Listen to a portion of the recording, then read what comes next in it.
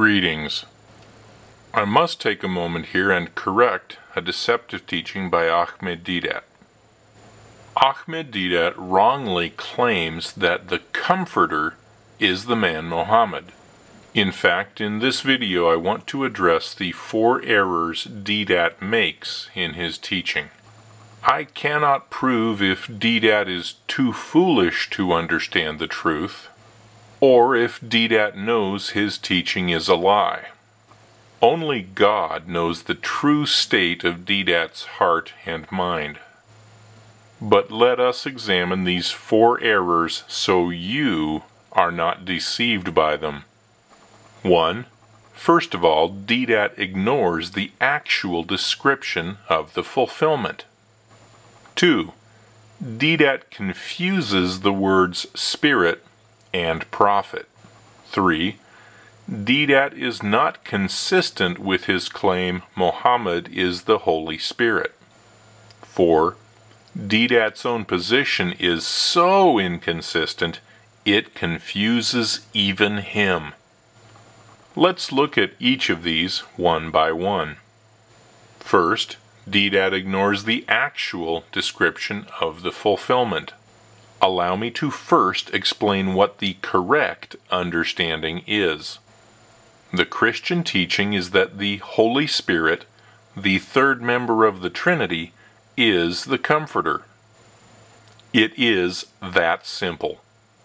Because Jesus said, But the Comforter, which is the Holy Ghost, in John 14 26. And the Christian teaching is absolutely and completely self consistent. We know who the Comforter is the Holy Pneuma, the Holy Ghost, the Holy Spirit. The Greek word pneuma is translated into the English as ghost or spirit. This is the same as every mention of the Holy Ghost or Holy Spirit in the entire Bible, Old and New Testament. We know when the Comforter came. On the day of Pentecost, only 49 days after Jesus was resurrected from the dead. We know why Jesus said he must leave for the Comforter to come. Jesus had to go so he could send the Comforter to come live in the disciples, just as Jesus said. Remember, this only happened 49 days after Jesus was raised from the dead. We know where the Comforter first came after Jesus sent him. The disciples were in Jerusalem, where Jesus told them to wait until. Luke 24:49 And behold, I send the promise of my Father upon you, but tarry ye in the city of Jerusalem until you be endued with power from on high. Jesus told the disciples to tarry, to wait, to hang around, because the Comforter was coming soon. 49 days. Soon. In their lifetimes not 600 years after they were dead, as the Islamic error would have you believe. Acts 1 4.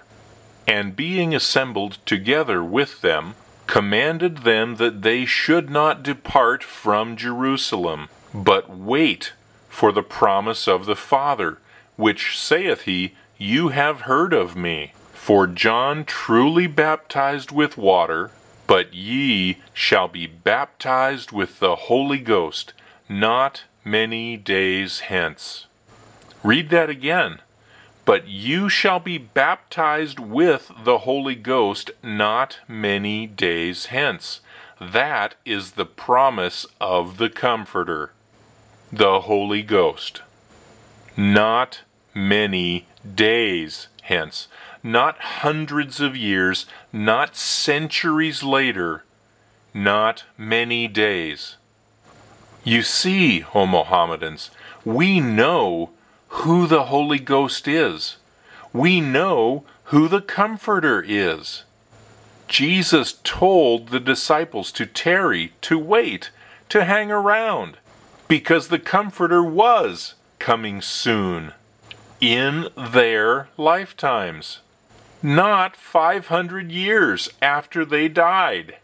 And for someone from Islam like Deedat to claim Muhammad is the Holy Spirit of God is as dumb as claiming Muhammad was the Emperor of Rome or China. Pay attention to the fact that Jesus commanded them to wait in Jerusalem. Wait in Jerusalem until the promise of the Holy Spirit, until the promise of the Comforter was fulfilled. They waited. The Holy Spirit, the Comforter, came. The promise was fulfilled. End of story. That forever damns the claim that Muhammad is the Comforter. Forever. Forever.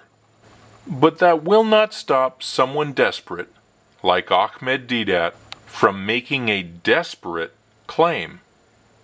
So now that you know Muhammad cannot be the Comforter, let us examine the rest of Deedat's desperate and provably false claims. If you are a Christian, I want you to watch just how twisted Deedat's argument must be, and just how many bogus twists and turns he needs. And if you call yourself Muslim, and if you place any value in the truth or in getting it right, please continue to watch this video and learn. And decide you want to know the truth. So, error 1 Deedat ignores the actual description of the fulfillment. That is point 1. Now you know the correct understanding of who the Comforter is. This is the very truth that Deedat was willfully ignorant of. Point 2. Deedat confuses the words spirit and prophet. If you listen much to Ahmed Deedat, you have heard him teach that spirit means prophet. Why does he even need to do this? Because Jesus says who the Comforter is. The Comforter is the Holy Pneuma, translated Holy Ghost or Holy Spirit. Since Jesus has already identified who the Comforter is, Deedat must play games to try and make this fit Mohammed. So let's listen to Deedat attempt to present this twisted diversion from the truth. You say it is the Comforter. Who is the comforter? The, the comforter is the Holy Ghost. They say the comforter is the Holy Ghost.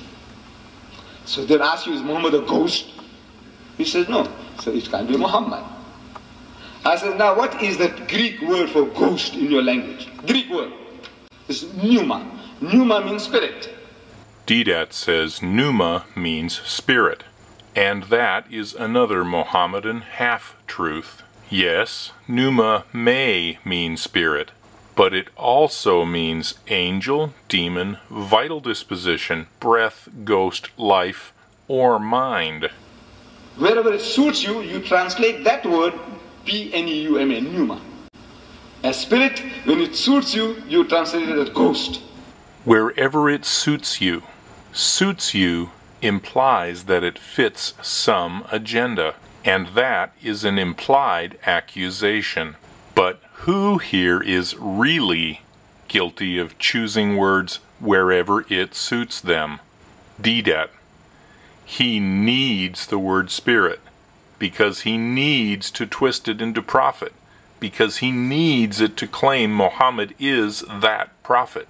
And yet, part of Deedat's deception is to accuse Christians of the very same deception and fraud that he is perpetrating. When you talk about spirit, you can have it fitting Muhammad. So the word pneuma has multiple meanings, just as the word spirit has multiple or many meanings. 1. a supernatural being or essence. 2. The immaterial intelligence or sentient portion of a person. 3. A specific attitude or frame of mind. 4. An alcoholic distillate. And many more. Watch how he waves his hand in his dramatic presentation. It sort of reminds me of a cheap magician using distraction. When you talk about spirit, you can have it fitting Muhammad. You can have it fitting Muhammad. Can, but not must. You can have it fitting Muhammad. You can have it fitting Muhammad. He needs the word spirit because he needs to twist it into prophet because he needs it to claim Muhammad is that prophet. But when you say ghost, like a spook, it's very difficult to say Muhammad is a spook. Muhammad was no spook. The point to remember is clear. Deedat is not interested in the truth. How can I say that? How can I say Deedat is not interested in the truth? Because the truth is known, was known during Deedat's life, has been known for 2,000 years, and is recorded in the Bible. Deedat is only trying to make credentials for Mohammed. If Deedat was interested in the truth, he only needed to accept the truth. And this is your very same choice, O Mohammedan. You may choose to accept the truth, or you may follow Deedat's error just as you follow Mohammed's tales. Deedat can only create his twisted logic to point to Mohammed if he has the word spirit to work with. So Deedat must have the word spirit. And the next step in Deedat's error is to change the word spirit into the word prophet. Rather than piece together arguments from another speech, which Mohammedans would immediately accuse as misrepresenting Deedat, I'm going to continue to refute this particular video because it is all related to Deedat's wrong teaching. Now, in this particular speech, Deedat next tries to claim the Holy Ghost is not the Holy Ghost. Again, why does he need to do this? The answer is to avoid the correct truth of the matter that the Holy Ghost is the Holy Ghost and to get anyone to accept Muhammad as the Holy Spirit, he must first attempt to get you to reject that the Holy Spirit is the Holy Spirit.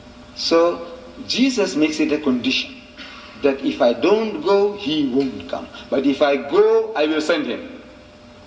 So if it is the Holy Ghost, we are suggesting that look, the Holy Ghost was long before Jesus was with the people according to your Bible. Deedat's argument is this Jesus says he must go before he can send the Holy Spirit. And if Jesus must send the Holy Spirit, the Holy Spirit cannot already be here. Seems simple enough? Was with Jesus, was with the disciples. So it makes no sense to say that if I don't go, he won't come. Condition. But if I go, I will send him. Is something other than the Holy Ghost. Well, there are two flaws in Deedat's thinking on this topic alone. One, Deedat wrongly assumes the Holy Spirit, the Comforter, is not already here. He errs because he does not respect what Jesus said. And what did Jesus say on the matter? Jesus said the Comforter was already known by the disciples. Jesus said the Comforter was already in the world. John 14, 16, and I will pray the Father, and he shall give you another Comforter. We can see that Jesus is talking about the Comforter here, that he may abide with you forever, even the Spirit of truth, whom the world cannot receive, because it seeth him not, neither knows him. But you know him, for he dwells with you, and shall be in you. And Jesus says, You know him. Let that sink in, O Mohammedan. Jesus said the Comforter was already in the world. And when Deedat argues that the Comforter was not in the world, he does so from willful ignorance of what Jesus said. O oh, Mohammedan, how can any single one of you claim you love Jesus when you disregard what Jesus said? Jesus said the Comforter was already in the world. So when Deedat argues the Holy Spirit was not in the world, isn't Deedat calling Jesus a liar? In the Gospel of St. Luke, chapter 1, we are told that Elizabeth had the Holy Ghost. What it means, I don't know. But she had it. Before Jesus was born, the Holy Ghost was there. It tells us again that Zechariah had the Holy Ghost. What that means, I don't know. It also says that John the Baptist, Yahya alayhi salam, they call him John. Yahya, we say Yahya. Yahya alayhi salam. He had the Holy Ghost from his mother's womb before he was born. The Holy Ghost was with him in his mother's womb inside. What he was doing inside there, I don't know. But it was there. Look, look, this is what the Bible says. Jesus, when he was preaching and healing, he said, I, by the Spirit of God, do these, these things. I, by the finger of God, cast out devils. Spirit of God is that Holy Ghost. Did the Holy Ghost help him in his ministry? He said, yes. Help him to do, perform miracles? He said, yes. Did the Holy Ghost help his disciples? Said yes, when they went out on the mission of preaching and healing, with whose help were they preaching and healing, if not with the help of the Holy Ghost? So the Holy Ghost was with Elizabeth, was with Zechariah, with John the Baptist from his mother's womb, was with Jesus, was with the disciples. So it makes no sense to say that if I don't go, he won't come. Condition. But if I go, I will send him, is something other than the Holy Ghost. So we have just watched the segment, and there is more to this speech where Deedat tries so desperately to prove the Holy Spirit is not the Holy Spirit. I'm sorry, but it is just stupid to argue the Holy Ghost is not the Holy Ghost. Flawed thinking number two is Deedat does not understand what sending the Holy Spirit is to accomplish. So it is not surprising that this ignorant man misunderstands what Jesus says. Let's look back a moment at John 14:16. But you know him, for he dwelleth with you and shall be in you. But you know him. This statement is present tense. For he dwells with you. Again, this statement is present tense. And shall be in you. This is the third statement of the group, and it is future tense. And it specifically is what is going to happen when the Comforter is sent. The Comforter that you know, the Comforter that lives with you, I will send him, and he shall live in you. He shall be in you. When Jesus sends the Comforter, it is for the Comforter to live in the disciples forever. Glory to God. See, Deedat thinks the Comforter was not here, then Comforter will be here. That's the only imagination he possesses. But that is just wrong. The correct meaning is the Comforter was with you, but soon he will be in you forever. So again, Deedat's argument that the Holy Spirit is not the Holy Spirit is based on ignorance of what Jesus said and ignorance of what Jesus meant. This video is getting a little long, so I'm going to end it here. If you want to watch Deedat corrupt the Word of God and change the word Spirit into the word he needs, prophet, please watch my other video on this subject. May the Spirit of God open your eyes to the light, your ears to the truth, and your heart to his Son, the Lord Jesus Christ. Amen.